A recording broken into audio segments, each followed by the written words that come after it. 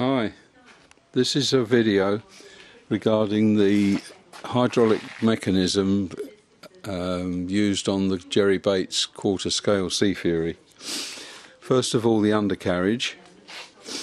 Both systems are driven from a hydraulic pump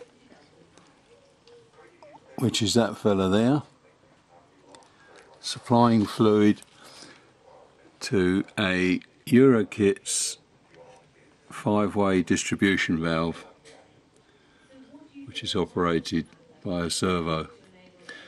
This is the undercarriage one. When the undercarriage is operated you can see that the distribution valve actuates gear down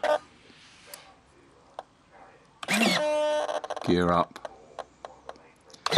gear down the fluid is supplied from a reservoir to the pump and then the pump delivers pressure to the distribution valve which in turn distributes oil to the to the rams within the legs.